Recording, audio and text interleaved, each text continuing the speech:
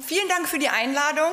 Mm, die, Einleitung, die Einladung hat mich äh, dazu gebracht, meine Gedanken zum Zen-Buddhismus so ein bisschen neu zu sortieren.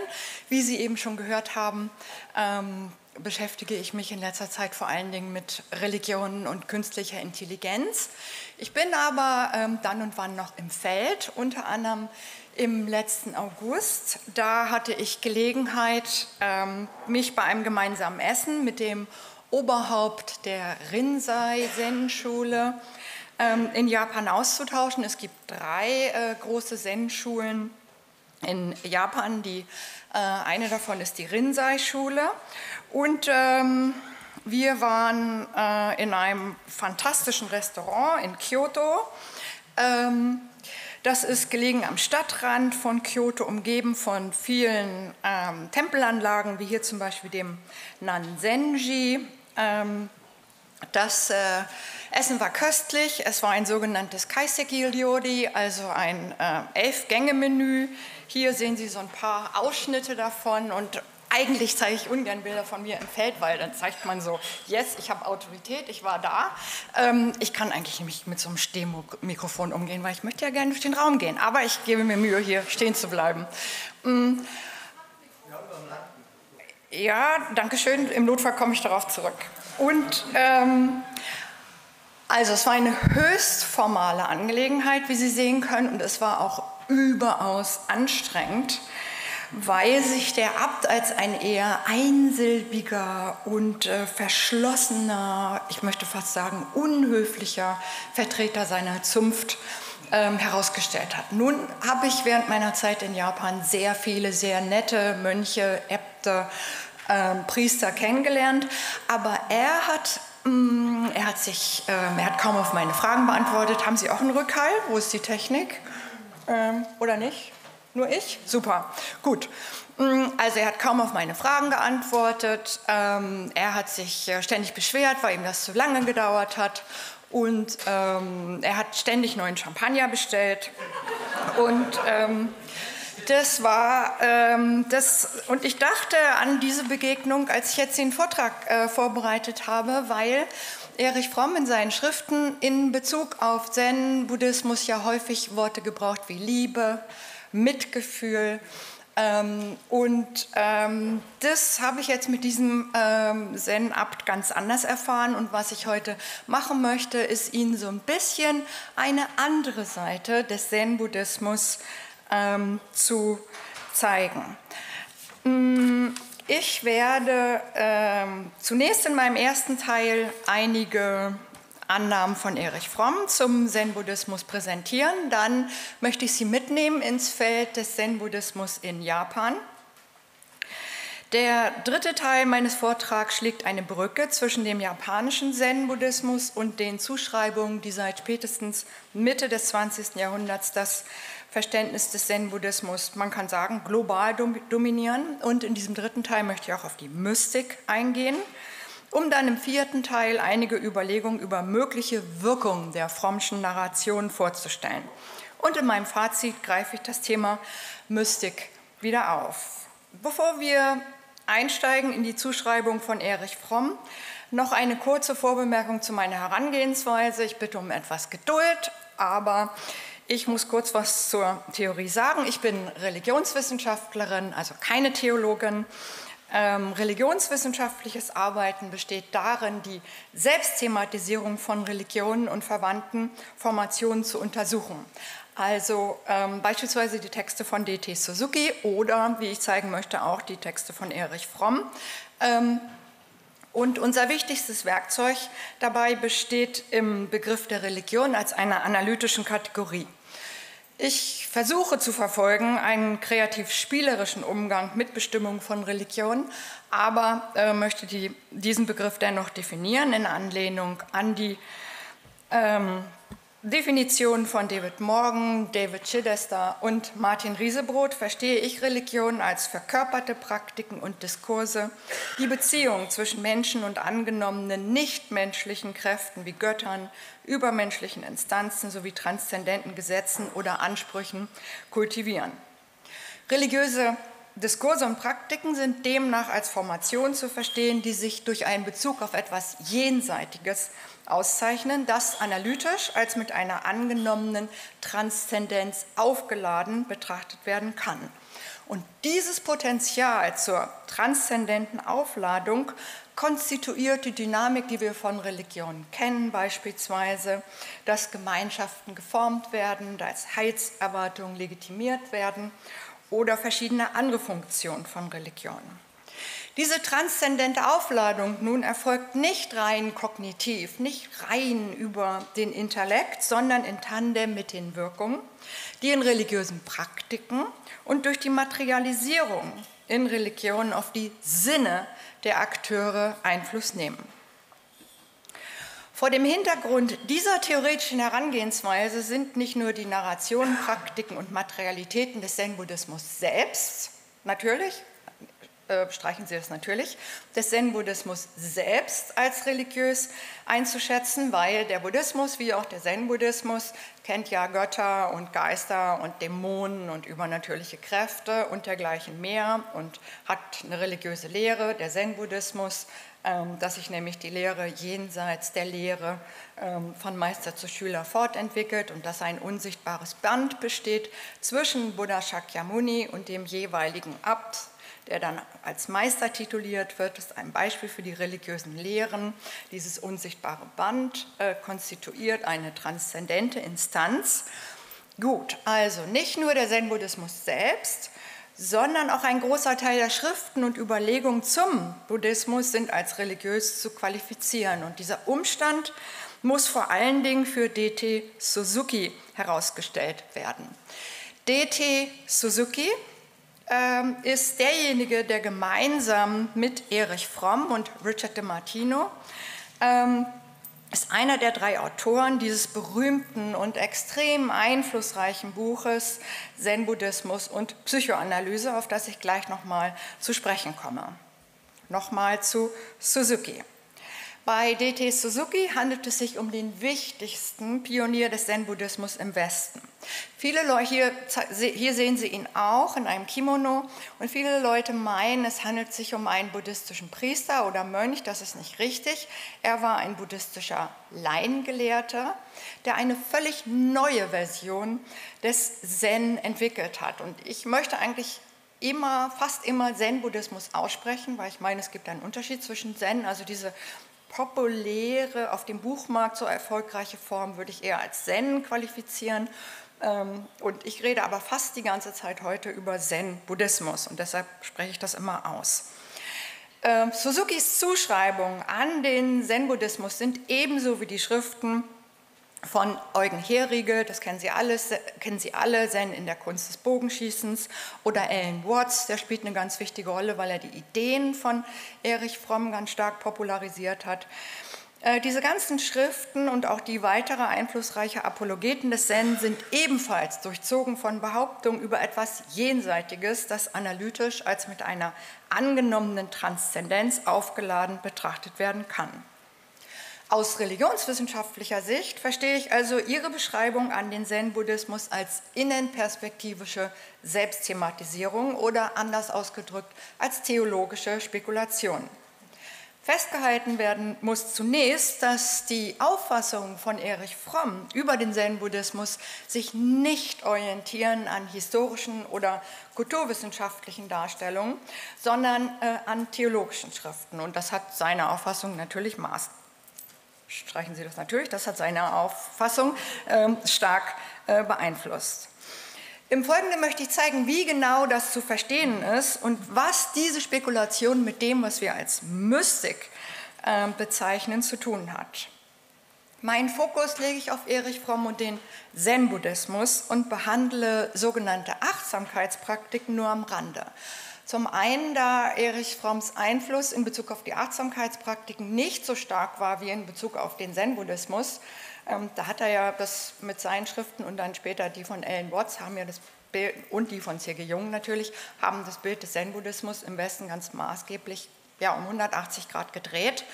Ähm, also, äh, und bei den Achtsamkeitspraktiken ist ein bisschen anders. Ähm, und das ist der eine Grund. Und der andere Grund ist, dass sich der Zen-Buddhismus äh, beruht auf einer ostasiatischen Tradition, ähm, während, der Vipassana, während die Achtsamkeitspraktiken auf Vipassana beruhen. Das ist eine bisschen andere Story.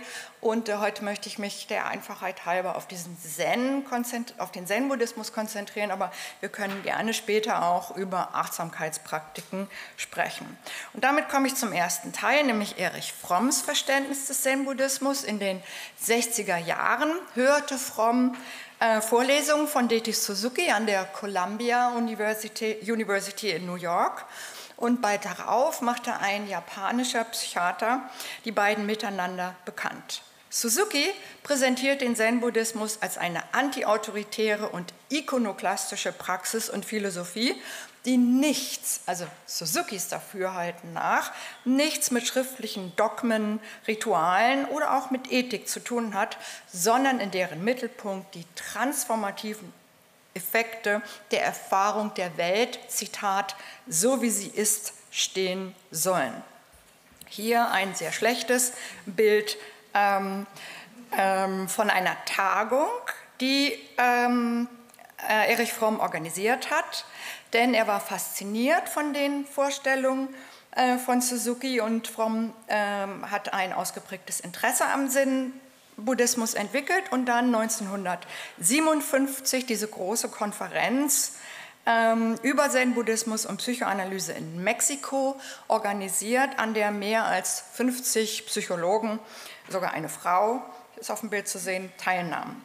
Die Vorträge von Suzuki und Fromm bei dieser Konferenz wurden zusammen mit dem Beitrag von Richard de Martino, das ist ein äh, Philosoph und Religionswissenschaftler der Kyoto-Universität, in diesem berühmten Band, ich zeige Ihnen den nochmal, Zen und Psychoanalyse entwickelt, äh, äh veröffentlicht. Das ist erschienen auf Englisch, das erste Mal 1960 hm, und im Jahr 1971 ist äh, diese erste, ist die erste Auflage, die erste Auflage erschienen äh, und mittlerweile ist die deutsche Auflage in der 26. Edition. Meine Ausführungen mit den Seitenzahlen, falls jemand interessiert, beziehen sich auf diese deutsche erste Auflage. In seinem Beitrag in diesem Band Psychoanalyse und Zen-Buddhismus stellt Fromm die folgenden Gedanken vor. Zitat, sich des Unbewussten bewusst zu werden und damit sein Bewusstsein zu erweitern, bedeutet mit der Wirklichkeit und in diesem Sinne intellektuell und affektiv mit der Wahrheit in Berührung zu kommen. Das Bewusstsein zu erweitern heißt aufwachen, einen Schleier lüften, die Höhle verlassen, Licht in die Finsternis bringen. Und Fromm stellt die Frage, Zitat, könnte das das gleiche Erlebnis sein, das die Zen-Buddhisten Erleuchtung nennen? An diese Frage anschließend stellt Fromm eine Reihe von Parallelen zwischen dem Buddhismus und Psychoanalyse vor. Und dazu zitiert er zunächst Suzuki, also jetzt Zitat Suzuki, Zen ist seinem Wesen nach die Kunst, in die Natur des Seins zu blicken und es zeigt den Weg von der Knechtschaft zur Freiheit. Wir können sagen, dass das Zen alle Energien freisetzt, die in jedem von uns richtig und natürlich aufgespeichert, aber unter normalen Bedingungen verkrampft und verzerrt sind, sodass sie keinen angemessenen Kanal zur Bestätigung finden. Es ist deshalb das Ziel des Zen, uns davor zu bewahren, geisteskrank oder verkrüppelt zu werden. Das verstehe ich unter Freiheit, dass man allen schöpferischen und wohlwollenden Impulsen, die in unseren Herzen schlummern, freien Spielraum lässt. Soweit das Zitat von Suzuki. Fromm übernimmt die Beschreibung Suzukis und modifiziert sie am Ende. Zen ist die Kunst, in die Natur seines Seins zu blicken. Es ist ein Weg von der Knechtschaft zur Freiheit. Setzt, es setzt unsere natürlichen Energien frei. Es bewahrt uns davor, geisteskrank oder verkrüppelt zu werden. Und es zwingt uns, hier modifiziert er, unsere Fähigkeit zum Glücklichsein und zur Liebe Ausdruck zu verleihen. Fromm versteht in Anlehnung an Suzuki Satori, also das ist der japanische Begriff für Erleuchtung, obwohl man eigentlich Erwachen sagen müsste, aber ich bleibe mal bei Erleuchtung. Hm, Fromm versteht also in Anlehnung an Suzuki das Satori die Erleuchtung als Zitat wahre Erfüllung des Zustands des Wohlbefindens.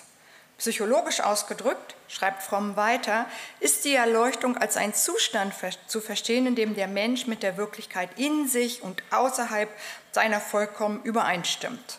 Die Erleuchtung ist der Mensch, der ganze Mensch. Und soweit ich das eben in fünf Minuten verstanden habe, schließt das an, an das an, was, wir heute, was Sie heute Morgen während des ersten Vortrags gehört haben. Die Erkenntnis des eigenen Wesens bezeichnet Fromm als das Ziel des Zen. Dieses Ziel lässt sich seines Erachtens nicht durch Denken erreichen. Das Erlebnis der Erleuchtung kann niemals mit dem Verstand begreiflich gemacht werden, betont Fromm. Und weiter Sie kriegen Herzbeschwerden. Okay, das. Ähm,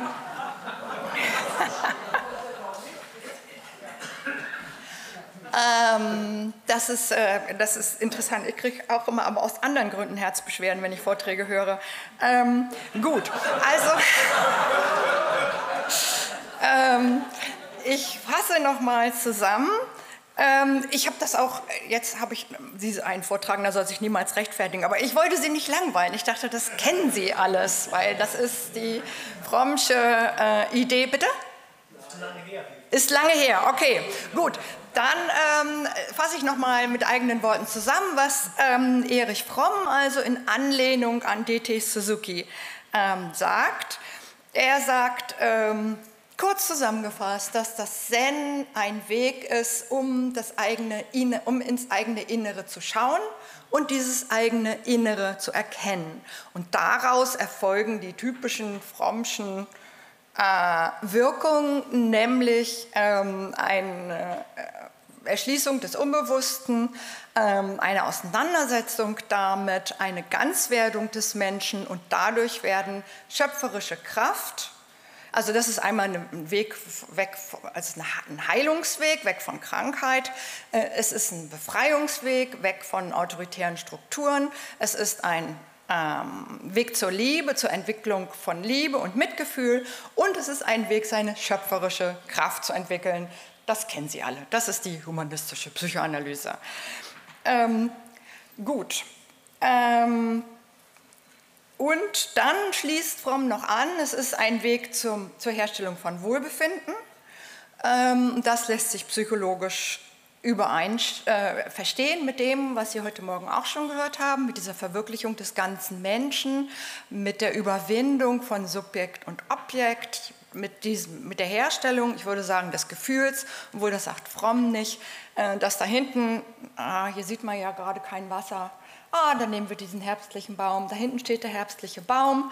Ähm, und Suzuki und Fromm sagen, wenn denn dieser Weg der Erleuchtung vollzogen ist, dann sehe ich keinen Unterschied mehr zwischen mir und dem Baum und habe diesen Subjekt-Objekt-Dualismus überwunden. Das, sind, das ist das, was Fromm in diesem Aufsatz hier schreibt, in Anlehnung an Suzuki. Ähm, und er schreibt, dass er wesentliche Parallelen zwischen Zen und Psychoanalyse gefunden hat. Beide streben Einsicht in die eigene Natur, hatten wir jetzt schon gesagt. Verwirklichung von Freiheit, habe ich auch schon gesagt. Glück und Liebe, Freisetzung von Energie, das ist diese schöpferische. Und Erlösung von geistigem und körperlichem Sichtum, also die Heilung. Und er sagt weiter, damit basieren beide auf den gleichen ethischen Prinzipien. Das ist ein bisschen komisch, weil Suzuki sagt gar nichts von Ethik, nämlich die Überwindung von Gier und das bezieht sich auf die, äh, auf die vier buddhistischen edlen Wahrheiten. Welt besteht aus Leiden, äh, Leiden, muss, ähm, Leiden muss abgeschnitten werden, der Weg dahin ist der ähm, achtfache Pfad. Also das übernimmt Fromm von Suzuki obwohl Suzuki das auch gar nicht so stark macht. Das übernimmt er aus dem Buddhismus. Und dann die Fähigkeit, Liebe und Mitgefühl zu entwickeln, das hatte ich bereits am Anfang in Frage gestellt. Soweit die Zuschreibung von Erich Fromm. Was ist nun von diesen Zuschreibungen zu halten? Und damit komme ich zu meinem äh, zweiten Teil, dem Zen-Buddhismus in Japan. Bilder und Statuen von Praktizierenden und wie wir hier sehen von Buddhas, die ruhig mit gekreuzten Beinen auf einem Kissen sitzen, begegnet man heutzutage zuhauf. Ich habe es leider abgeschnitten, aber ich glaube, Amazon gibt mehr als 1000 Ergebnisse, wenn man das eingibt. Ähm, nach allgemeinem Verständnis zeigen diese Bilder und Statuen die zentrale Praxis des Buddhismus, die sitzende Meditation. Diese Sitzpraxis soll zur Erleuchtung von Buddha Shakyamuni geführt haben.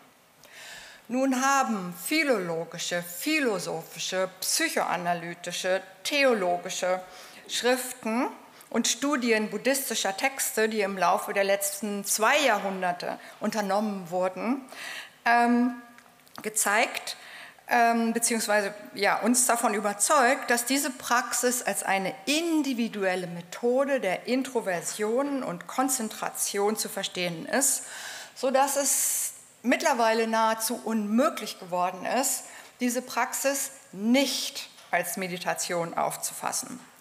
Doch schauen wir uns den japanischen Kontext genauer an. Der Buddhismus wurde im 6. Jahrhundert nach Japan eingeführt. Äh, dabei sind zunächst äh, einige Schulen entstanden, Nada und Nada-Schulen und die Schulen des esoterischen Buddhismus. Und im 13. Jahrhundert kamen dann verschiedene andere Schulen, unter anderem die ersten beiden Zen-Schulen hinzu.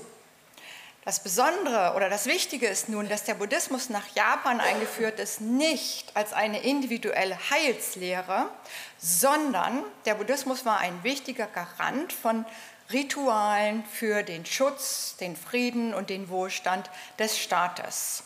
Und er war wurde eingeführt, um die gesellschaftliche Ordnung aufrechtzuerhalten. Man sagt so schön, und das lässt sich auf ganz viele religionsgeschichtliche Kontexte übertragen, wie die zwei Flügel eines Vogels haben sich ähm, Religion, in diesem Fall Buddhismus und Staat, wenn man denn also im vormodernen Sinne von Staat sprechen kann, also die Macht ergänzt. Es war keine äh, individuelle Heilsmethode. Entstanden sind, wie gesagt, die ähm, zwei der drei Zen-Schulen, ähm, Rinzai, Soto und Obaku heißen die. Die äh, Suzuki mh, hm, hat seine hat Erfahrung gemacht als Laien-Buddhist in Rinzai-buddhistischen Tempeln und ich beziehe mich heute weil es einfach noch Mühe besser erforscht ist, vor allen Dingen auf Forschung zum Soto-Buddhismus. Aber man kann sagen, dass die Rinzai und Soto sich in ganz vielen Punkten ganz ähnlich sind. Nur die Obaku-Schule ist ein bisschen anders. Die lassen wir heute völlig raus. Ähm, Dogen ist einer der Patriarchen der Soto-Schule.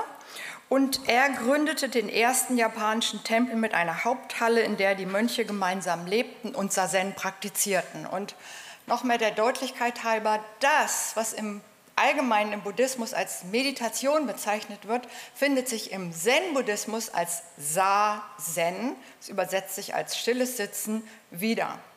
Nun haben diese verschiedenen Schulen in, in äh, Japan seit ihrer Einführung alle um die Gunst der der, der, der, der staatlichen, derjenigen, die mächtig waren und Geld hatten, gebuhlt, Unterstützung zu bekommen, damit sie Tempel und Pagoden bauen und Mönche unterstützen können. Und ähm, sie haben das gemacht, indem sie behauptet haben, unser Weg des Buddhismus ist am besten. Und ähm, die, äh, die Schulen des esoterischen Buddhismus, das, wenn sie esoterischer Buddhismus, das ist das, was, die Tibeter, was, die, was man über Tibet als tantrischen Buddhismus bezeichnet, die sagen, man kann die, die Erleuchtung finden durch Mandalas, durch Mudras und durch also ganz bestimmte Handhaltung und durch Mantras, wie zum Beispiel Om. Und die Zen-Buddhisten nun sagen, wir können diesen Buddhismus und Buddha, die Buddhaschaft verwirklichen durch das stille Sitzen. Und deshalb spreche ich so viel über dieses Zen, weil das die Meditation ist, aus der sich dann auch die Frommschen Achtsamkeitspraktiken ableiten. Und das ist, was jetzt in den Mittelpunkt gestellt wird, wenn es um Buddhismus, äh, wenn es um ein Verständnis des Buddhismus geht. Und Dogen war jetzt der Erste, der so eine Halle gegründet hat, wo die Mönche zur Verwirklichung der Buddhaschaft bzw. zur Aufführung der Verwirklichung der Buddhaschaft äh, dieses Sazen praktiziert haben.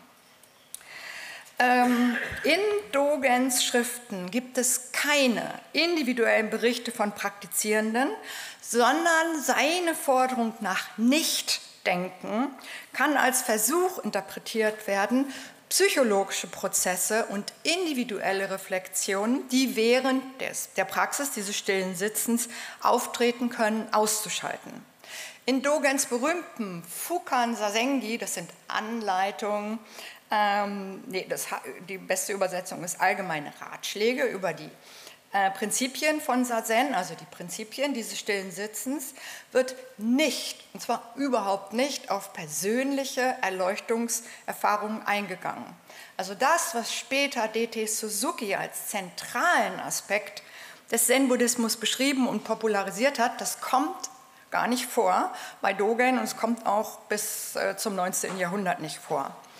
Dogen gibt stattdessen detaillierte Anweisungen zur korrekten Durchführung dieses stillen Sitzens. Hier Anf Anfang, den Anfang des Zitats lese ich Ihnen vor. Wir sollten unsere Kleidung locker, aber ordentlich tragen. Wir legen die rechte Hand auf den linken Fuß und die linke Hand auf die rechte Hand. Ähm, also er beschreibt hier die Einnahme einer Lotushaltung, wo die Beine jeweils auf dem gegenüberliegenden Oberschenkel sind und er beschreibt die Einheit dieses kosmischen Mudras, was Sie wahrscheinlich von Fotos kennen. Die Spitzen unserer beiden Daumen berühren sich, ähm, wobei der Daumen über dem Nabel platziert werden sollte. Äh, man sollte aufrecht sitzen und er schreibt weiter, dass unsere Scheitel sollen nach oben gerichtet sein, wir sollen die Schultern runter machen, äh, wir sollen, ähm, wir sollen die Zunge an den Gaumen legen und jede Menge weiterer detaillierter äh, Anweisungen, wie man zu sitzen hat. Und diese Anweisungen veranschaulichen die Bedeutung des Körpers. Für Dogen und seine Betonung des physischen Akt des Sitzens. Buddhologen und Japanologen und Religionswissenschaftler haben gezeigt, dass Dogens Konzept von Sazen weniger als ein psychischer, sondern vielmehr als ein physischer Akt zu verstehen sind. Dogen betont die chinesische Chan, also Zen-Genealogie und Orthodoxie sowie die Übertragung von Meister zu Schüler das hatte ich ja schon gesagt, das ist, das, das ist eine der wichtigsten Dogmen des Zen. Und diese Übertragung ermöglicht es den Praktizierenden, den Akt des Sitzens als Teil ihres erleuchteten Seins auszuführen, das sie mit dem Buddha und dem Patriarchen teilen. Also durch die Einnahme dieser exakt gleichen Haltung, die Shakyamuni zugeschrieben wird, manifestieren die Zen-Priester, Äbte und Mönche die Erleuchtung. Nochmals, Dogen propagiert keine psychische Übereinstimmung mit dem ewigen erleuchteten Geist, sondern eine physische Nachahmung historischer Instanzen erleuchteten Verhaltens. Laut Dogen können Praktizierende also durch die perfekte Ausführung dieses Sazen, dieses stillen Sitzens, die Erleuchtung performativ manifestieren. Sie können es in ihrem Körper zum Ausdruck bringen. Sie ahmen dabei etwas nach, das laut der buddhistischen Orthodoxie bereits verwirklicht ist. Und das hier ist der ganz wichtige Punkt. Sicherlich haben viele Praktizierende von Sazen, also dieser sitzenden Meditation, wie man sie heute nennt, in vormodernen Zeiten und auch im gegenwärtigen Japan und auch in China und in Taiwan, wo das auch gemacht wird, und in Vietnam, und in Korea eine ganze Reihe unterschiedlicher Erfahrungen mit dem Sazen gemacht. Und sicherlich haben sie auch die unterschiedlichsten Zuschreibungen. Und dabei äh, können wir auch, haben sie auch, finden, natürlich, finden auch psychische Prozesse statt.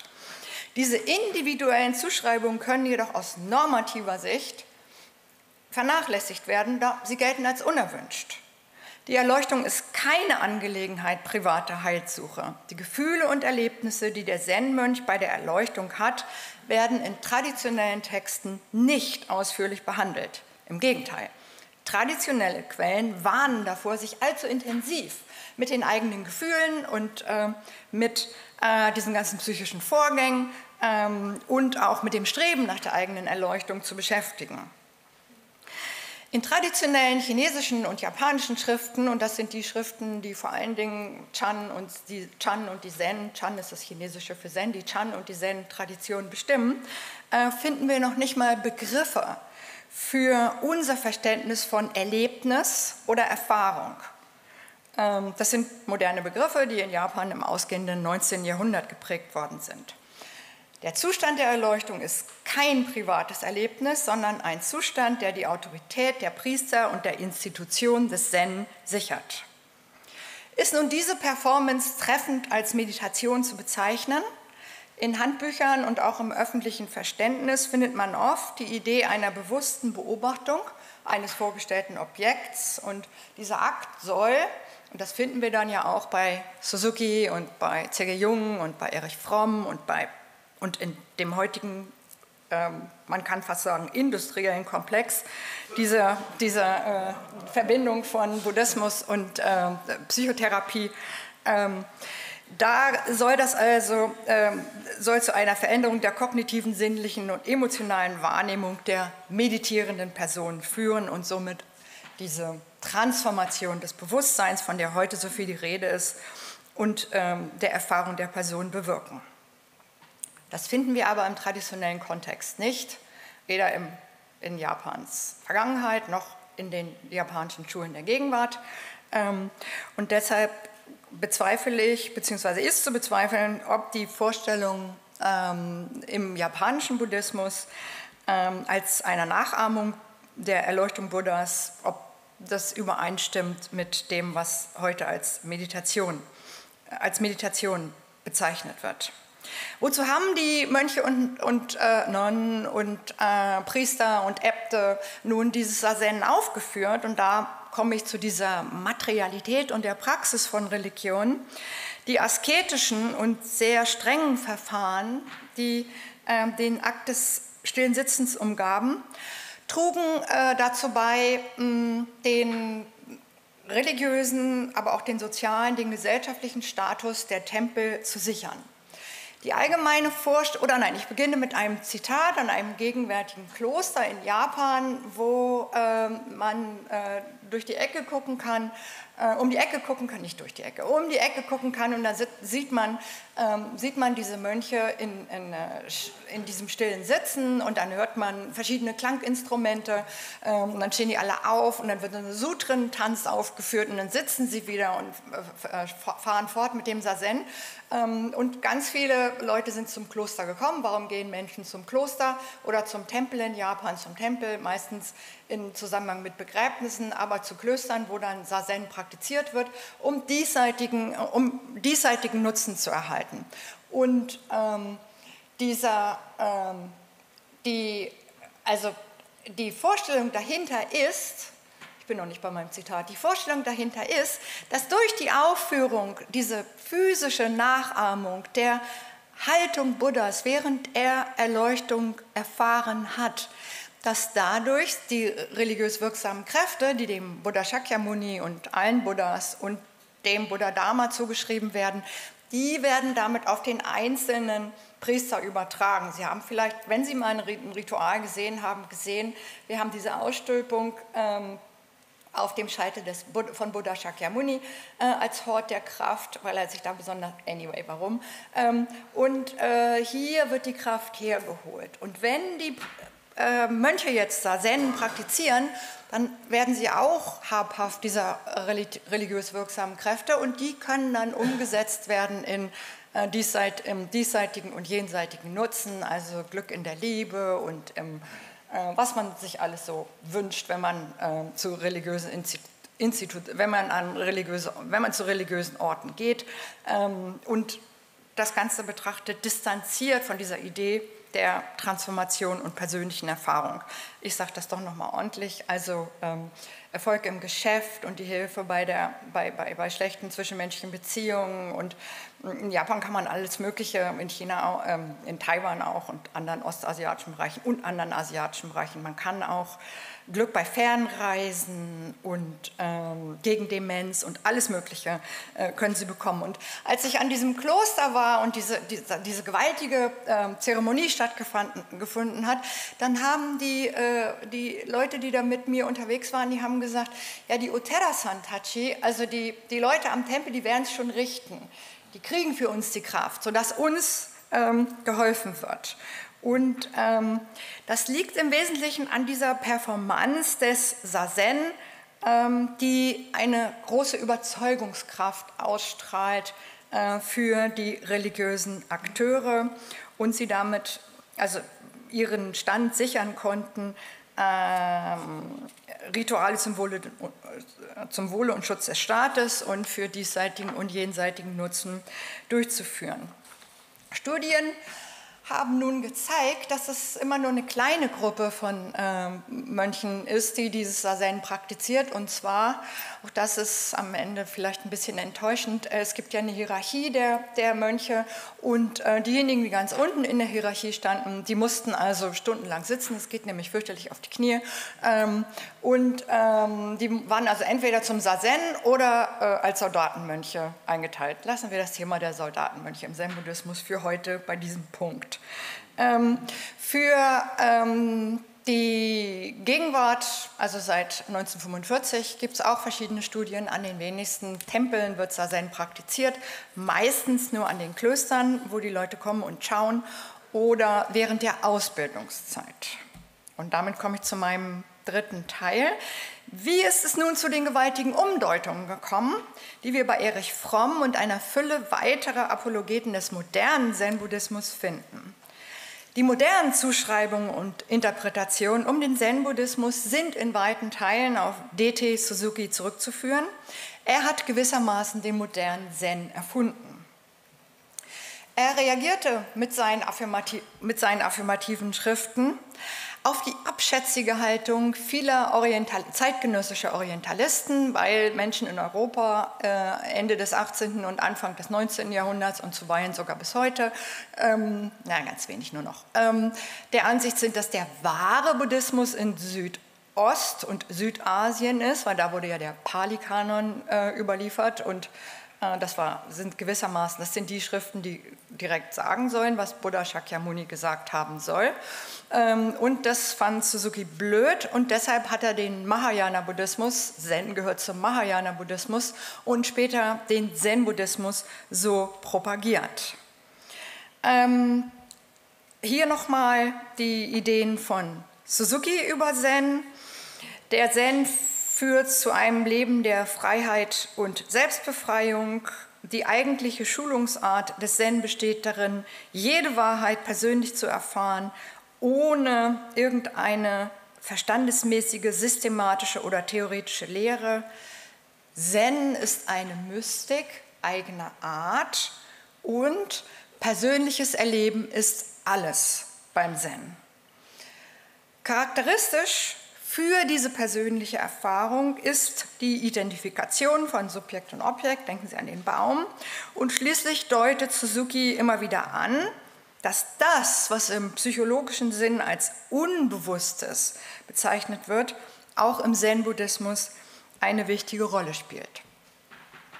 Vergleichen wir nun die Zuschreibung von Suzuki mit der Lehre und Praxis des Buddhismus in der Geschichte und Gegenwart Japans, so wird ganz schnell deutlich, dass Suzuki eine völlig neue Variante des Zen geschaffen hat. Viele Wissenschaftler und Wissenschaftlerinnen sind sich einig, dass Suzuki mit dieser Variante so etwas wie eine neue Religion des Zen-Buddhismus hervorgebracht hat. Und dabei greift er auf typische westliche Idealisierung von Religion und Mystik zurück. Und daher hier jetzt ein kleiner Exkurs zum Begriff der Mystik. Die Begriffe Mystik und Mystizismus wurden um die Wende 19. zum 20. Jahrhundert im Westen und in Asien unter Intellektuellen populär. Mit dem Begriff der Mystik wurde eine Spielart von Religion bezeichnet, bei der die persönliche Erfahrung eines als transzendent vorgestellten Zustandes oder einer Entität im Mittelpunkt steht. Also man hat sich vorgestellt, dass ähm, es darum geht, persönlich zu erfahren, ein Inneres, das dann entweder selbst als spirituell oder in Verbindung stehend mit etwas Spirituellem vorgestellt wird.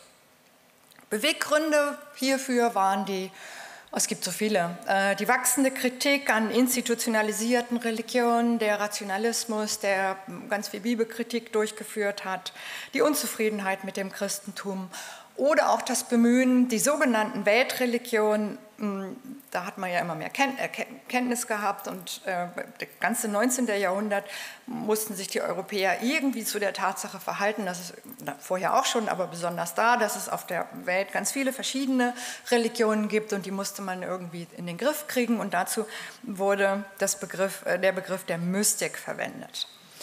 Die Ansicht setzte sich durch, dass alle Religionen Varianten eines ursprünglichen Glaubens konstituieren. Das wird auch ganz häufig, äh, denken Sie an Huxley, als ähm, Philosophie, als Perennial Philosophy oder Perennial Religion, also wiederkehrende, immerwährende Religion bezeichnet. Und die wichtigste Idee bei dieser wiederkehrenden Religion ist, dass die ganzen Dogmen und Institutionen und Architekturen und Praktiken, die vielfältigen der Religionen der Welt, dass das alles nur unterschiedliche Ausformungen des einen gemeinsamen Wegs der Religion sind, nämlich mit Hilfe geeigneter Praktiken zu diesem als spirituell vorgestellten Selbst vorzudringen. Ähm, diese Zuschreibung nun an Religion ist modern und wie das Beispiel des Zen-Buddhismus zeigt, ist es irreführend, diese Zuschreibung auf vormoderne Kontexte zu übertragen.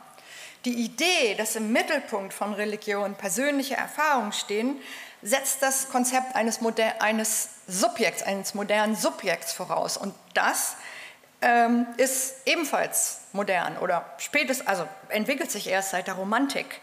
Ähm, und die Idee, dass es ein psychisches Erlebnis äh, von Religion ist, was Religion zugrunde liegt, geht vor allen Dingen auf William James zu. Naja, Schleiermacher auch schon. Aber popularisiert wurde es äh, dann äh, seit, dem, seit Beginn, seit Ende des 19. Jahrhunderts.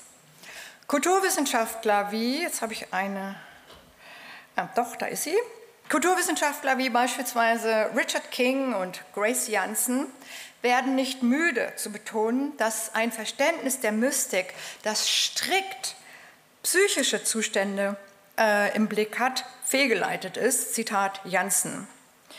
Denjenigen, die gemeinhin als Mystikerinnen oder Mystiker bezeichnet werden, also zum Beispiel Meister Eckhart oder Hildegard von Bingen, ging es weniger um diese psychischen, soweit wir das erforschen können, weniger um diese psychischen Zustände, sondern vielmehr um Gerechtigkeit, Befreiung.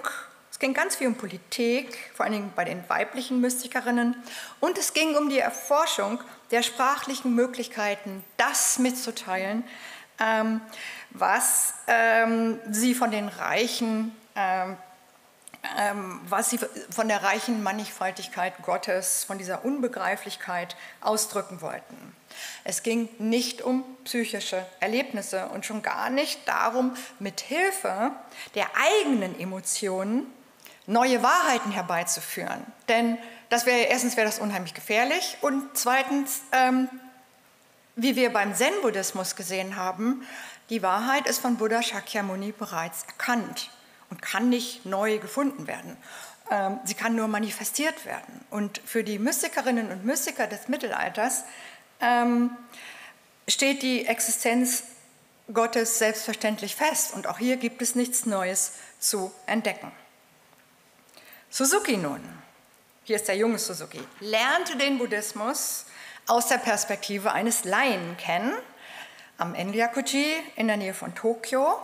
Und ähm, er wurde mitgenommen aus Weltparlament der Religionen und hat, ist ein genial, also er kann genial, nein, das ist normativ, es ist wertend, er ähm, kann sehr überzeugend formulieren und hat ein großes Talent für die englische Sprache gehabt. Und deshalb wurde er nach Amerika geschickt und wurde der Assistent von Paul Karus, das ist äh, ein ähm, Philosoph, der lehrt die Vereinbarkeit von Religion und Wissenschaft. Und während seiner Zeit in den USA, in den frühen, im frühen 20. Jahrhundert, wurde Suzuki nachhaltig beeinflusst von westlicher Philosophie, ich war total geflasht, wie viele andere auch, als ich angefangen habe, mich mit Suzuki zu beschäftigen. Sein erstes Werk auf Japanisch ist eine Übersetzung der Texte von Emanuel Swedenborg. Also er wurde hereingerissen in Spekulationen über die Mystik. Äh, und er war ganz stark und auch familiär verbandelt mit William, also mit der Familie von William James. William James ist der mit der Idee der religiösen Erfahrung und schließlich der Theosophie. Die Theosophie ist wahrscheinlich die berühmteste ähm, Formation, die diese Suche nach einem äh, nach dem ewig gleichen spirituellen Selbst in den verschiedenen Ausformungen der Religion der Welt sucht. Suzuki nun übernahm die Ideale der Romantik, insbesondere die Idee dieses tiefen inneren Selbst, sowie des liberalen Individualismus und präsentierte den Zen-Buddhismus im Rahmen dieser Paradigmen. Insgesamt haben wir es also mit dem paradoxen Zustand zu tun, Umstand zu tun, dass zutiefst westlich geprägte Ideale von asiatischen Intellektuellen wie Suzuki aufgegriffen, aufgegriffen wurden. Und diese westlichen Ideale sind verstärkt als asiatische Konzepte wieder in den Westen zurückgekehrt und prägen das Bild des Buddhismus bis heute. Oder nochmals anders formuliert, dass westliche Intellektuelle wie Erich Fromm die Ideen von Suzuki so begeistert aufgenommen haben, resultiert im Wesentlichen daraus, dass Suzuki zutiefst westliche Paradigmen in asiatischem Gewand präsentiert. Und Erich Fromm wundert sich ja an einer Stelle darüber, dass die Ideen äh, östlicher Religion viel kompatibler mit seiner Idee von Selbstsuche sind. Und das liegt genau an diesem Umstand. So ist es zu erklären, dass Suzukis Zen im Westen einen so großen Reiz ausstrahlte. Statt Lehren und klösterlicher Disziplin rückt Suzuki die persönliche Heilsuche und die persönliche Erfahrung in den Mittelpunkt. Suzuki betont, äh, genauso wie Erich Fromm auch, das schöpferische Potenzial des Zen-Buddhismus. In seinen Schriften verweist er dabei auf sogenannte Zen-Kunst, und er war maßgeblich daran beteiligt, die Trockensteingärten an japanischen Tempeln als Zen-Gärten zu främen. Also diese, dieser Ausdruck Zen-Garten, das ist direkt eine Idee von D.T. Suzuki. Und was Sie also hier sehen, sind Imaginationen westlicher und auch asiatischer Wissenschaftler über den Zen-Buddhismus. Ähm, ganz, äh, es ist wichtig herauszustellen, dass ähm, zwischen diesen Formationen, also der Kunst, der Landschaftsgärtnerei, auch der Teezeremonie oder der Kampf, den Kampfsporttechniken, die Suzuki perfiderweise Kampfkunst nennt, ähm, da, zwischen diesen Formationen und dem Zen-Buddhismus in Japan besteht eine, wenn überhaupt, eine ganz, ganz lose Formation. Ja, okay, ähm, Sie ähm, können die ähm, verschiedene, die chinesische Landschaftsmalerei und auch diese äh, von äh, Pflanzen bereinigten Trockensteinlandschaften sind an, Japan, an, an Tempeln in Kyoto zu sehen. Ähm, doch die Mönche, Priester und Äbte schaffen die Kunstwerke nicht selbst, sie werden in Auftrag gegeben. Oder das sind Schenkungen, äh, weil man auf die Art und Weise äh, rituelle Tugend erwerben kann. Die Priester denken sich auch die Trockensteinlandschaften äh, nicht aus. Ähm, Herr Bischof hat nicht erwähnt, aber ich sage es heute, obwohl ich es eigentlich gut fand, dass Sie es nicht erwähnt haben. Ich bin ja eigentlich von Beruf Gärtnerin und ähm, hab, äh, bin immer gerne bereit, mich und bin immer begeistert, wenn ich Landschaftsgärtner in Japan treffe und ähm, auch Priester. Und als ich am Anfang gefragt habe, ja, wie macht ihr das mit den Gärten? Die haben sich kaputt gelacht. Äh, also das wird von äh, Experten, von Landschaftsgartenexperten gemacht. Ähm, die Priester äh, kochen und putzen auch nicht.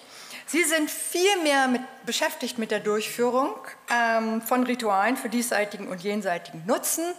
Und insbesondere die Priester äh, in großer Tempel und Klöster sind mit ähm, Verwaltung und Management beschäftigt. Ähm, in der Vergangenheit kam ihnen große Bedeutung als Politiker und Diplomaten zu. Und äh, in der Gegenwart haben sie ganz große Aufgaben ähm, als äh, Manager des Tourismus und des Denkmalschutzes. Ähm, ah, hier, das sind die, die Süßigkeiten, die man, äh, die überspringen wir jetzt. Ähm, kommen wir zu Kyoto. Ähm, das ist ein Rinzai-Zen-Kloster in Kyoto, der Myoshinji. Das wollte ich Ihnen zeigen. Das äh, ist auch der Hintergrund aller meiner Folien. Äh, warum Tourismus? Ähm, Manager. Im Jahr 2023 besuchten 75 Millionen Touristen Kyoto. Zum Vergleich, nach Frankfurt kamen 5 Millionen.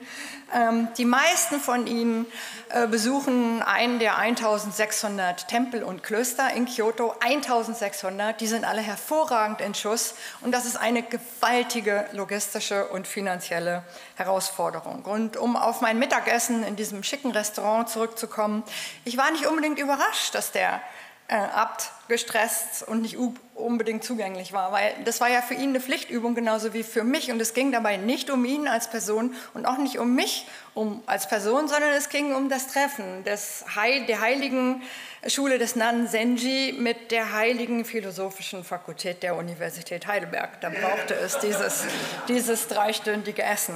Und damit komme ich ähm, ja, und das, ist so viel zur schöpferischen Kraft, das wird von Suzuki immer wieder erwähnt und das ist natürlich, das begeistert Erich Fromm, ähm, weil das ja seinen Punkt stärker macht. Damit komme ich zum vierten Teil, ähm, einigen Wirkungen der Frommschen Narration.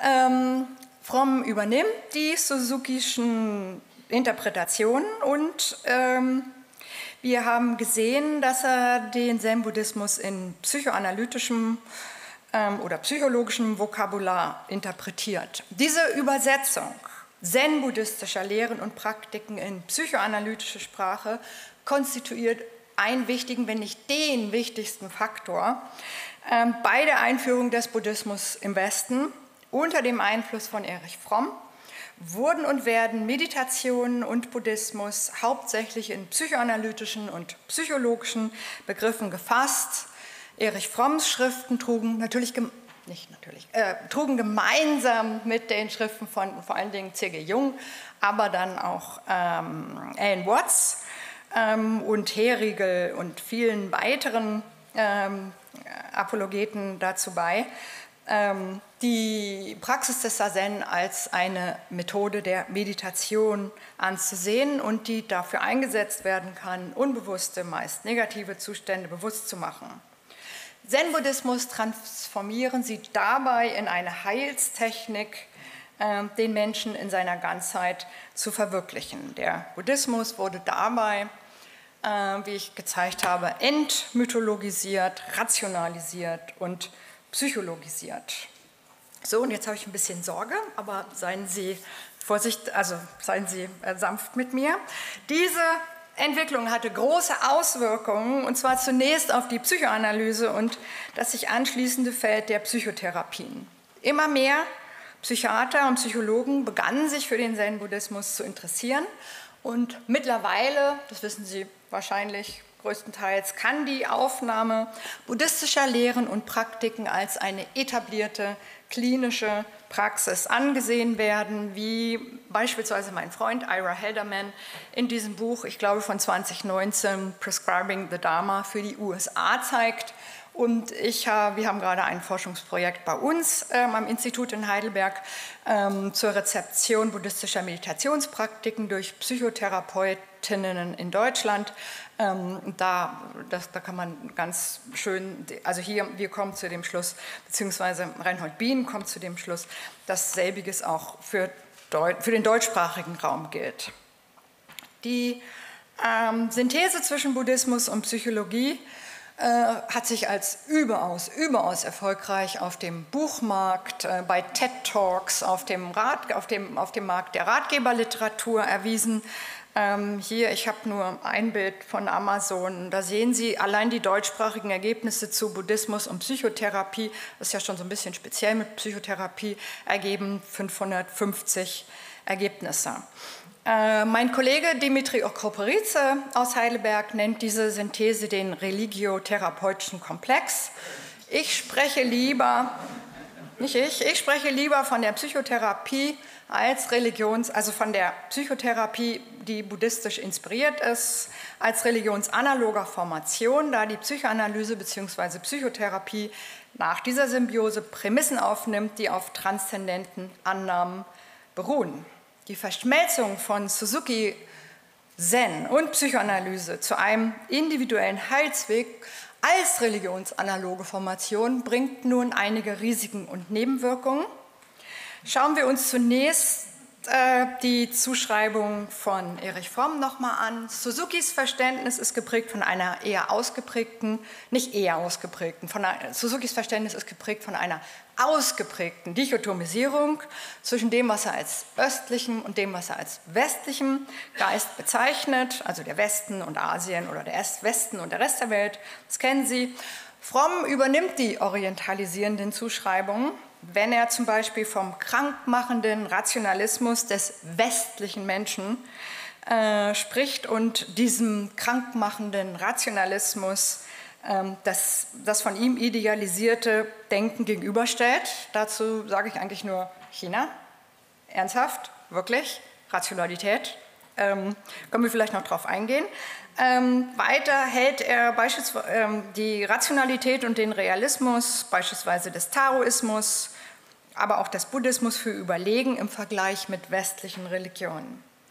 Diese pauschalisierenden Imaginationen über den sogenannten Osten haben sich ebenfalls tief in unser Bewusstsein, also ich weiß nicht, ob von allen von uns, tief in das allgemeine Bewusstsein eingeschrieben, sowohl öffentlich als auch intellektuell und verhindern bis heute, dass wir uns realistisch mit den Gesellschaften Chinas, Japans und anderer asiatischer Länder und darüber hinaus auseinandersetzen. Fromm übernimmt von Suzuki seine vehemente Kritik westlicher Gesellschaften, westlicher Religion. Fromm beklagt, dass sich der westliche Mensch, Zitat, im Zustand schizoider Unfähigkeit befände, einen Affekt zu erfinden. Wirklich? Laut Fromm soll der westliche Mensch ängstlich, niedergeschlagen und verzweifelt sein.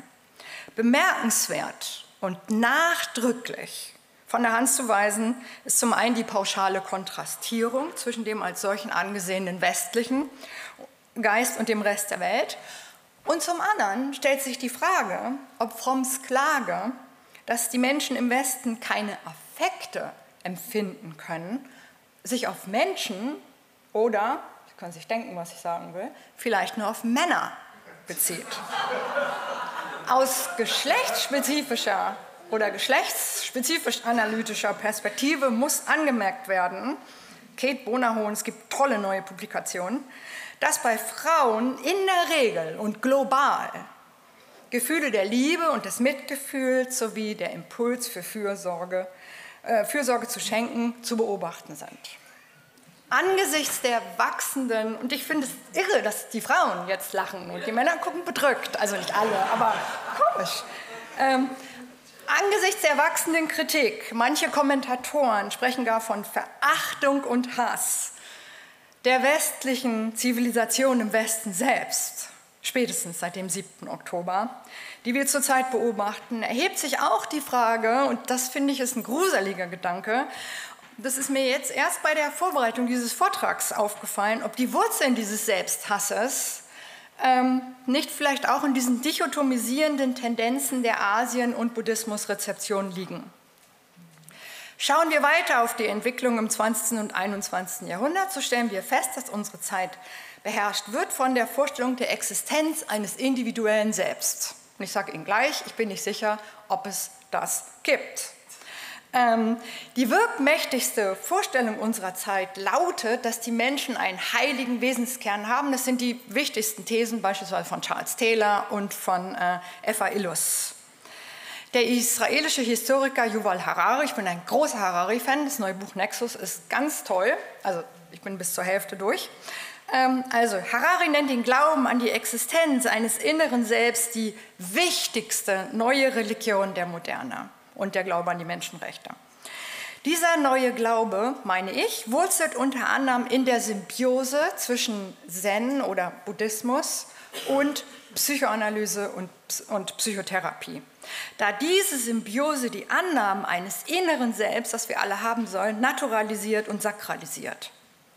Im traditionellen japanischen Kontext dient das Sazen zur Herbeiführung von diesseitigen und jenseitigen Nutzen. Also die Menschen können auf eine transzendente, eine vorgestellte transzendente Instanz vertrauen, wenn sie Probleme haben und traurig sind und Konflikte haben und Krisen.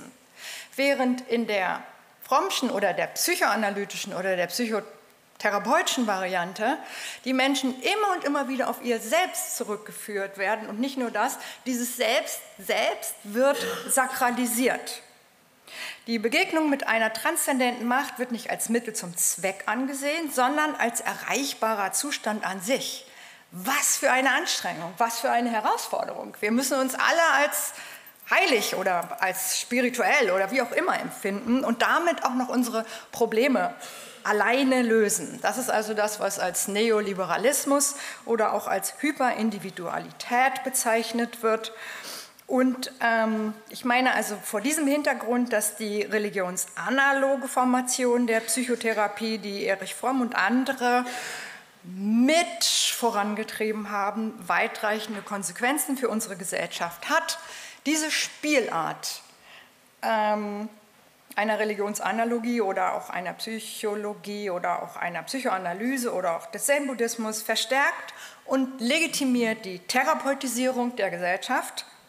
Und die muss sich ja in letzter Zeit sehr kritische Fragen gefallen lassen. Zum einen diese lange Diskussion, dass politische und gesellschaftliche Umstände für individuelles Leiden ausgeblendet werden. Das steht, wie ich finde, in einer überzeugenden Linie mit dem, was die Kulturwissenschaftler an der Mystikrezeption so kritisieren. Sie sagen nämlich, dadurch, dass die Mystik zu etwas wird, was individuell etwas mit Psy unserer eigenen individuellen Psyche zu tun hat, werden wiederum die politischen, die Herrschaftskämpfe des Mittelalters und überhaupt das Öffentliche wird ausgeblendet und wir werden auf das Private ähm, zurückgeworfen. Äh, Kritiker an dieser Therapeutisierung ich habe hier nur drei ähm, etwas ältere, McGee über Self-Help und dieses berühmte Buch von Moskowitz über ähm, äh, die, ähm, die Übertherapeutisierung und von Eva Illos hätte ich eigentlich alle Bücher nennen können, aber hier, wer sich interessiert, die Errettung der modernen Seele. Es wird noch schlimmer. Ähm, in, den Let in der letzten Dekade ähm, mehren sich immer mehr Stimmen, die sagen, dass die Psychokrise, die wir zurzeit beobachten, also ähm, in den USA sollen Jugendliche zwischen 16 und 25, mittlerweile 70 Prozent, sollen entweder mal einen Therapeuten gesehen haben oder in therapeutischer Behandlung sein. Und die Therapeuten unter ihnen wissen und vielleicht alle anderen auch, dass ähm, diese äh, Entwicklung auch in äh, im deutschsprachigen Raum zunimmt.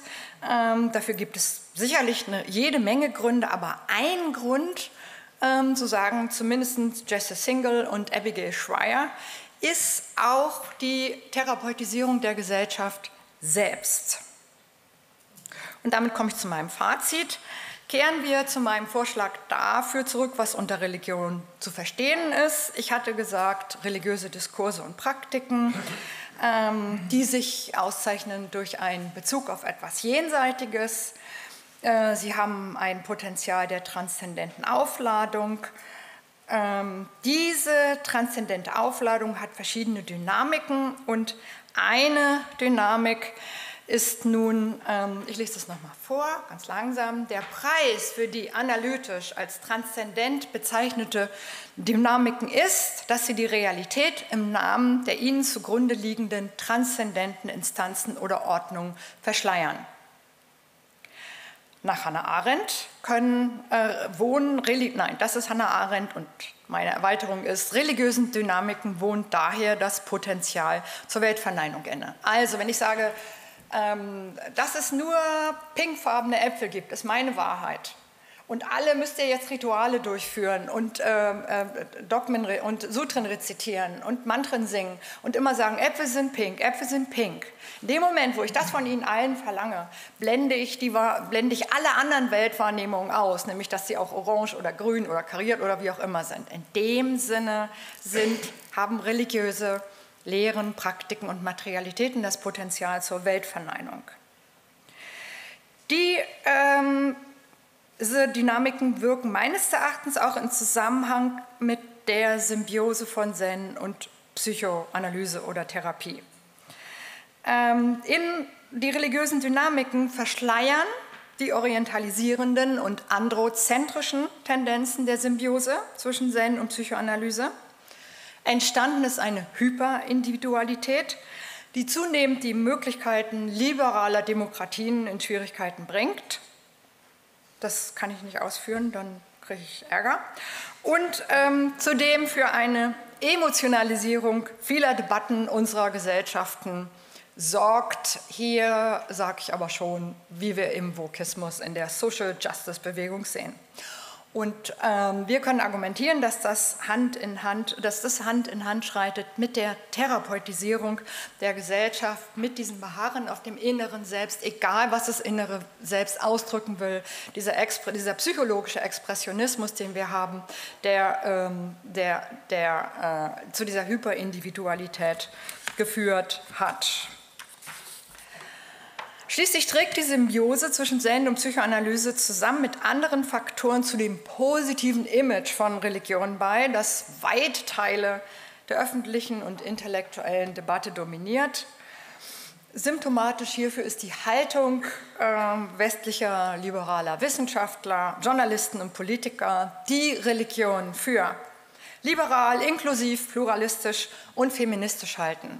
Das ist nicht der religionsgeschichtliche Normalfall. Und damit komme ich ganz kurz, Herr Bischof, bin sofort fertig, äh, auf die Mystik zu sprechen. Die Entwicklung der Zuschreibung an die Mystik und die affirmativen Assoziationen mit Religion, die der Begriff hervorruft. Also wenn wir Mystik hören, dann oder wenn wir Religion hören, ganz viele, äh, oder wir haben das auch äh, wir haben das auch empirisch belegt, dann denken huh, viele Leute gut und schön und das brauche ich für meine Selbstentwicklung und es ist gut für die Welt und interkultureller Dialog und, und so weiter und so fort. Ähm, die, die, die Psychoanalyse und die Symbiose zwischen Psychoanalyse und Zen, die überträgt diese positiven Assoziationen mit Zen, die Suzuki und der Buddhismus war überhaupt insgesamt unheimlich gut darin, ein positives Image für sich zu schaffen. Und diese Assoziation zwischen Meditation, Spiritualität, ähm, östlicher Geist ähm, die trägt zu diesem positiven Image bei. Was lange als Mystik galt, wurde absorbiert, das nur der Vollständigkeit halber, durch den Begriff der Spiritualität. Und heute ist ja auch diese Suche mit den verschiedenen Praktiken der Welt nach einem inneren Selbst und was in einer Verbindung zu einem aus, zu einem irgendwas spirituellem, äh, nein, ich möchte das ordentlich formulieren, zu etwas spirituell Gedachtem steht. Das ist äh, das, also der Begriff der Spiritualität, den Begriff der Mystik in diesem Sinne ersetzt, also religiöse Religiosität, die nicht institutionell gebunden ist und auf Innerlichkeit und die Entfaltung unserer Subjekte und den Ausdruck unserer Subjekte gerichtet ist. Vor dem Hintergrund dieses Verständnisses von Mystik ende ich nicht mit einem Fazit, sondern mit einer Frage an Sie.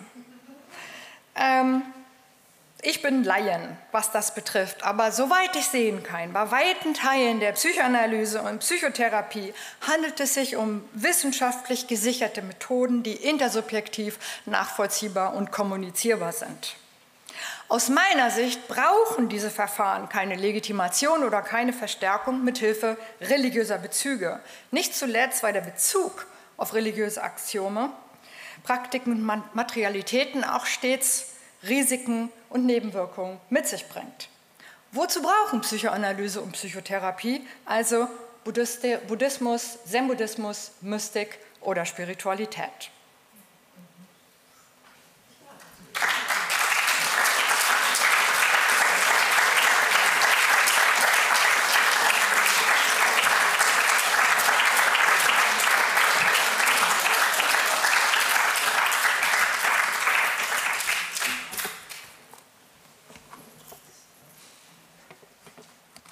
Das, ah, sehr gut. Okay. Ja, vielen Dank für den Vortrag. Ich fand ihn sehr spannend. Ich glaube, Sie auch alle. Ähm, da war einiges Neues dabei und deswegen gehe ich davon aus, dass auch Diskussionsbedarf besteht. Ich möchte jetzt, äh, auch wenn wir drüber sind, doch noch die Zeit für direkte Rückfragen geben. Ähm, ja, nehmen wir, nehmen wir dich zuerst. Ja, erstmal vielen Dank für den Vortrag. Ich fand den auch sehr, sehr spannend und sehr lebendig. Es hat Freude gemacht, Ihnen zuzuhören. Ich nehme ganz viel Neues auch mit. Ähm, was ich noch fragen möchte, also äh, Sie haben ja die Gefahren von dieser Überindividualisierung und Übertherapierung deutlich aufgezeigt. Und ich ich denke schon, also ich, ich sehe da schon, ähm, was Sie meinen und dass zu viel äh, oder dass die Beschäftigung mit dieser Innerlichkeit, dass es wirklich auch dazu führt, dass man so die, die gesellschaftlichen und politischen Verhältnisse ausblendet und sich zu sehr auf sich selber besinnt. Aber ich finde, gerade bei Erich Fromm kann man das ja nun nicht sagen, denn Erich Fromm hat ja immer das Individuum ähm, gesehen im Zusammenhang und in der Wechselwirkung mit der Gesellschaft. Er, Erich Fromm war ein sehr politisch, ähm, in, er, hat ja, äh, eine, er hat ja auch sehr viel publiziert in, in dieser Richtung. Und er hat ja auch sich politisch sehr engagiert. Also gerade bei ihm sehe ich die Gefahr überhaupt nicht, sondern er hat ja da äh, aus meiner Sicht eine sehr gute Balance gefunden zwischen einerseits Erkenntnis äh, des Selbst, die eigene Selbsterkenntnis und eben auch die Frage nach den politischen und gesellschaftlichen Verhältnissen. Ja, vielen Dank für die Frage, weil es gibt mir Gelegenheit äh, zu sagen, dass ähm, vielleicht müssen wir das, was er selbst dann für sich umgesetzt hat, von dem trennen, wie seine Schriften wirken können. Und äh, das sind ja zwei verschiedene, zwei verschiedene Themen. Und ähm, gerade, mm, er hat, nur weil jemand das selbst für sein Leben verwirklicht hat, heißt es ja nicht, dass die Wirkung seiner Schriften nicht doch anders erfolgen kann. Ähm, und diese Sakralisierung des Selbst, die ist äh, da würde ich dabei bleiben, auch wenn er das in seinem Leben nicht so gemacht hat, ähm, äh, ist in, in, der breiten Wirkung äh, ein wichtiger Punkt. Zumal diese Sakralisierung oder die Naturalisierung der, dieses Selbst, mh, mm, das, die, die Forderung nach ähm, statt zu haben, zu sein, äh, ist ja eine normative Forderung. Ähm, wenn das aber eingepackt ist in, diesen, in diese Suche nach, nach einem Inneren und nach Ausdruck des Inneren, dann ist das perfiderweise kompatibel mit Marketing und Kapitalismus. Und, äh, das, äh, das, und auch mit dem Buddhismus. Ähm, weil Buddhismus und Marketing ist ein ganz großes Thema beispielsweise. Also sehen, wissen, haben Sie alle wahrscheinlich schon mal gesehen. Ähm, also würde ich Ihnen recht geben, klar. Ähm, äh, es gilt nicht für die Person und nicht für das persönliche Wirken, aber vielleicht für die, für die Wirkung seiner Schriften, was ich heute gesagt habe. Ja, dann liegt es vielleicht auch, ja, danke schön, dann liegt es vielleicht auch daran, dass eben vor allem manche Schriften sehr ähm, populär geworden ja. sind und andere vielleicht auch gerade nicht.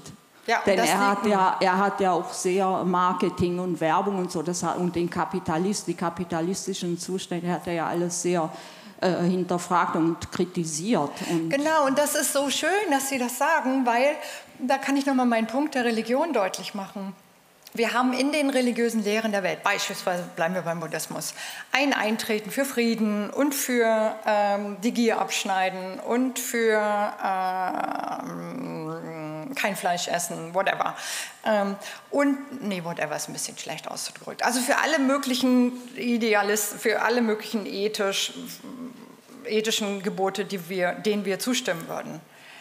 Das finden wir auch, äh, aber das heißt ja nicht, dass das umgesetzt wird. Und genauso haben wir bei Fromm, diese, das, ist ja, das ist ja keine Beschreibung der Gesellschaft, sondern es handelt sich um eine Forderung. Es sind normative Schriften, die Ideale zum Ausdruck bringen. Und das ist umso schöner auch, dass Sie das fragen, weil auch beim Zen-Buddhismus und bei dieser Zen-Kunst und bei den Zen-Gärten und bei den äh, bei den zen-buddhistischen Weisheitskugeln und bei den Zen-Gärten. Ich glaube, es gibt 300 verschiedene, nein, 300 nicht, aber 100 verschiedene ähm, Variationen von Zen-Gärten bei Amazon zu verkaufen. Das ist ja nicht alles blöd. Das inspiriert ja die Menschen. Das, äh, das kommt ja immer auf den Akteur an, wie er damit umgeht. Aber insgesamt, äh, gerade weil dieses dieses so, so, unglaublich populär und so unglaublich stark rezipiert worden ist, führt, denke ich, führen äh, in der Wirkung ist, die ist, ist diese Therapeutisierung dabei stark und da fragt sich, ob es nicht auch Nebenwirkungen gibt. Dankeschön. So. Ähm, wer hat noch eine Frage? Ja? So. Ähm, Okay, okay. Ähm, ich ähm, äh, habe bei äh, Karl Marx eine Anleitung zur Gotteserfahrung gefunden und äh, wollte es mal äh, kurz äh, verlesen.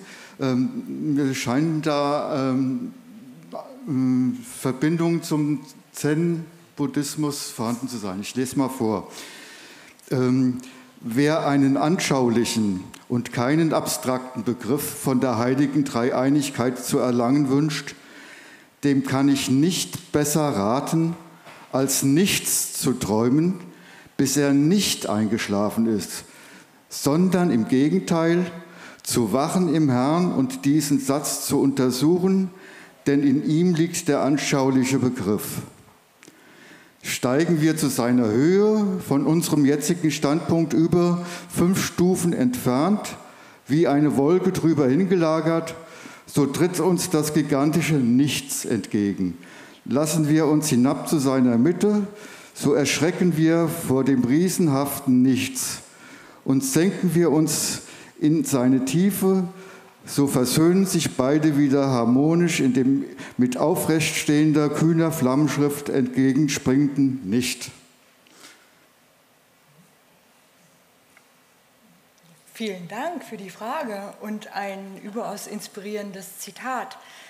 Ich wäre vorsichtig mit voreiligen komparatistischen äh, Stellungnahmen, weil ich hatte ja versucht zu zeigen, dass diese Sätze im Zen, ähm, ich sag noch mal ein Zen, also das geht, ich, ich könnte den Eindruck erweckt haben, als wenn es im Zen-Buddhismus darum geht, eben dieses Nichts ähm, äh, jenseits der Objekt, Subjektdualität und der Lehren und der Schriften zu verwirklichen. Ähm, Im Zen-Buddhismus ist der größere Kontext dafür aber, und vielleicht ist es das in der mittelalterlichen Mystik auch, ähm, weiß ich nicht genau, ich bin jetzt selber komparatistisch, äh, fernab der psychischen Vorgänge ähm, zu, unter Beweis zu stellen, dass es etwas Größeres gibt als uns selbst. Und das will der Zen-Buddhismus ja vorantreiben, damit er Legitimität für seine Lehren und Anschauungen kriegen kann. Ich kenne jetzt das, den Kontext des Zitates nicht, aber Karl Marx ist ja nun eher religionskritisch. Ähm, und hier würde ich sagen, der Kontext ist eher Nihilismus und nicht das Nichts, um zu zeigen, dass eigentlich alles viel größer und schöner ist, als sich das der eigentliche Mensch eigentlich vorstellen kann. Vielleicht belassen wir es dabei. Okay, so ich, ich habe jetzt mal ganz ähm, mystisch die Position im Raum gewechselt. Hier war, glaube ich, noch eine Frage. Ähm, ja, vielen Dank für Ihren sehr anregenden Vortrag. Mich würde noch mal interessieren, was ja auch sehr zur Popularität von Achtsamkeit und ähnlichen ja, Meditation beigetragen hat, ist das äh, MBSR-Konzept von John Kabat-Zinn. Da würde mich interessieren, ob es da sozusagen auch, äh, wie Sie das rekonstruiert haben, vielleicht auch so eine Verbindung oder so eine Tradition jetzt von Suzuki und Fromm, man das da rekonstruieren kann, ob das quasi auch dadurch beeinflusst wurde, dann was dann John Kabat-Zinn draus gemacht hat. Also so ein westliches Verständnis von, von Zen-Buddhismus quasi? Also ob es eine, ob es eine ähm, ähm, angesprochen wird, die MBSR-Therapie, Mindfulness-Based Mindfulness Stress Reduction Therapy, äh, kennen Sie alle, Achtsamkeitspraktiken, geht zurück auf den besagten John Kabat-Zinn. Hm, ich habe keinen Beleg, ob John Kabat-Zinn, Erich Fromm gelesen hat. Sicherlich ist er aber sehr stark beeinflusst von dieser Symbiose zwischen Zen-Buddhismus oder Buddhismus und Psychologie und Psychoanalyse. John Kabat-Zinn hat die erfolgreichste äh, buddhistisch inspirierte Religion überhaupt hervorgebracht. Weil er sagt, egal wo sie sind, wer sie sind, was sie sind, Sie müssen einfach nur innehalten und atmen. Und auf die Art und Weise wird sich eine Heilung einstellen. Das ist Religion sui generis, par excellence. Ähm, Wenn ich also eine gestresste Mutter von vier Kindern bin und gerade einen Rentenbescheid gekriegt habe und zwei Kinder von mir sitzen geblieben, dann setze ich mich einfach hin und mache Achtsamkeitspraktiken. Was für ein Quatsch. Nein, glauben Sie, dass das funktioniert? Ähm, es ist äh, unwahrscheinlich und insofern sehe ich eine direkte Verbindung, weil es ist die ähm, es ist wieder diese Beschwörung der, des inneren Selbst und der Heilskraft dieses inneren Selbst. Und das ist genau das, worum es in der Mystik, wenn es denn die Mystik gibt, nicht geht, sondern es geht um Gesellschaft und es geht um gesellschaftliche Bedingungen und um Politik und um Wirtschaft und um diejenigen, die Macht haben, herauszufordern. Und ähm, im, äh, im, im Zen geht es ähm, darum, die Verantwortung zu delegieren. Dann geht es geht im, im mittelalterlichen Christlichen auch.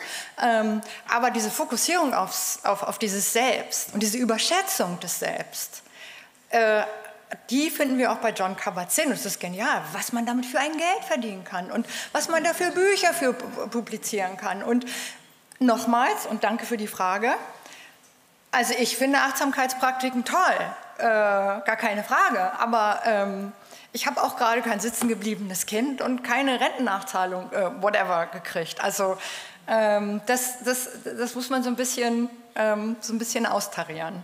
Aber super Frage, vielen Dank. Apropos Frage, wir haben jetzt noch äh, dort eine und hier eine. Ich weiß nicht, ob wir die schaffen, also bitte ganz kurz halten. Ja? Ja, meine Frage, als Sie von den Trockensteingärten äh, sprachen. Wovon? Wovon bitte? Von den Trockensteingärten. Ja ähm, ist mir der Gedanke gekommen, hat Suzuki äh, mit seiner Zen-Umformung äh, ähm, an die Praxis von Ikebana gedacht oder habe ich da was übersehen? Also Ikebana kommt bei Suzuki nicht vor, oder doch? Nein. Nicht? Ähm, ich versuche da kurz drauf zu antworten. Spannender Komplex. Also, es gab mal eine ganz berühmte amerikanische Intellektuelle. Die hat in den 20er Jahren in Kyoto gelebt. Und die war begeistert von diesen Setzlingen in diesen Trockensteinlandschaften, die bis zum 20. Jahrhundert auch Bäume hatten. Also da waren auch Pflanzen drin. Aber das, da gab es dann auch Architekten, die haben gesagt, das machen wir mal anders. Ähm, und und die hat, war begeistert und hat darüber publiziert für amerikanische Zeitschriften. Und das war in Kyoto die Nachbarin von DT Suzuki. Und DT Suzuki hat, ihr, hat zu ihr gesagt, na klar, das sind Zen-Gärten. Und so ist diese ganze hermeneutische Flexibilität dieser Zen-Gärten entstanden. Und Ikebana, die Frau von Eugen Herige, äh, Gusti Herigel. Herigel ist der mit die Kunst des Bogenschießens, Zen und die Kunst des Und seine Frau, die Gusti Herigel, die hat, ich glaube, in den 60er Jahren ein Buch veröffentlicht, Zen und die Kunst des Blumensteckens. Und bei, ja, das, das wird ja hauptsächlich von Frauen gemacht, das kommt bei Suzuki nicht vor. Glaube ich nicht. Also weiß ich nicht hundertprozentig, aber ich bin mir ziemlich sicher. Gut, super Frage. Na, ich äh, wollte keine Frage stellen, sondern ich wollte nochmal John Kabat-Zinn verteidigen. Also ich glaube, Gut. dass eben äh, äh, das unfair ist, eben bestimmte kurze Sätze von jemandem, so ein Grundsatzding und dann plötzlich auf äh, Mütter, die ein Problem mit ihren Kindern haben. Der John Kabat-Zinn ist ein Psychosomatiker gewesen, der hat enorme, äh, äh, erfolgreich Menschen geheilt, dadurch, dass er in sein therapeutisches Konzept diese Entspannungsgeschichten mit eingebaut hat. Das ist ein Fragment sozusagen innerhalb von einem größeren therapeutischen Konzept. Und eben in dem Augenblick, wo man natürlich irgendwie ein kleines therapeutisches Konzept zu so einer Grundsatzgeschichte macht, ja, da kann ich alles liquidieren. Also Vielen Dank, super, bin ich total dankbar. Ich habe offensichtlich nicht, und das sage ich, mache ich sehr gerne zum Abschluss. Also, es gibt, un, es gibt eine Fülle von, nein, gar keine Fülle. Die Arbeit von Therapeuten, äh, äh Psychologen, Psychiatern, und ähm, Achtsamkeitslehrern ist unschätzbar wichtig und wertvoll und inspirierend. Ähm, und es ist überhaupt nicht meine Absicht, das zu negieren. Ähm, Mein Punkt ist, in dem Moment, wo wir das mit einem religiösen Konzept verbinden, kommen die Risiken und Nebenwirkungen und vor denen möchte ich warnen. Und da Sie das gesagt haben, äh, auch an John Kabat-Zinn, war der nicht Naturwissenschaftler? Ähm, aber das müsste ich nochmal nachgucken. Da, da ist natürlich, äh, da, da, knüpft sich eine ganze Schule an und ähm, ich wollte den nicht liquidieren, ich wollte nur die, den religiösen Punkt in seiner Lehre äh, herausstellen. Okay. Sehr gut, vielen Dank. Sehr gerne.